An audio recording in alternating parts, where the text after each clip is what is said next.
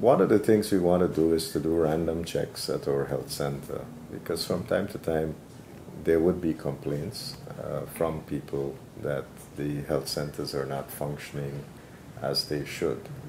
So a random check going to the facility would give a first-hand impression of what takes place there on a daily basis, uh, whether patients are getting the types of services that they need and so forth. And uh, we will see things that need improving.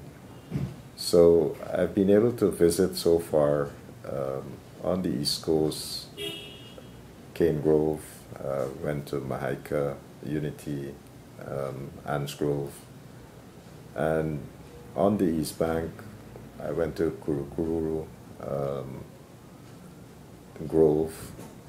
So we're going to continue these types of visits. But by and large, what we have found is that there might be minor things that one would need to do at these sites. Um, in some cases, they might need bits of equipment that we can supply. Um, in other cases, they might have a drug or two that um, they need replenishment of. Mm-hmm.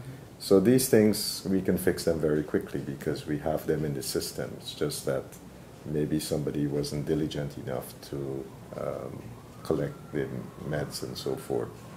So that is something that we're working on to put a, a better system in place so that medicines are always um, available to people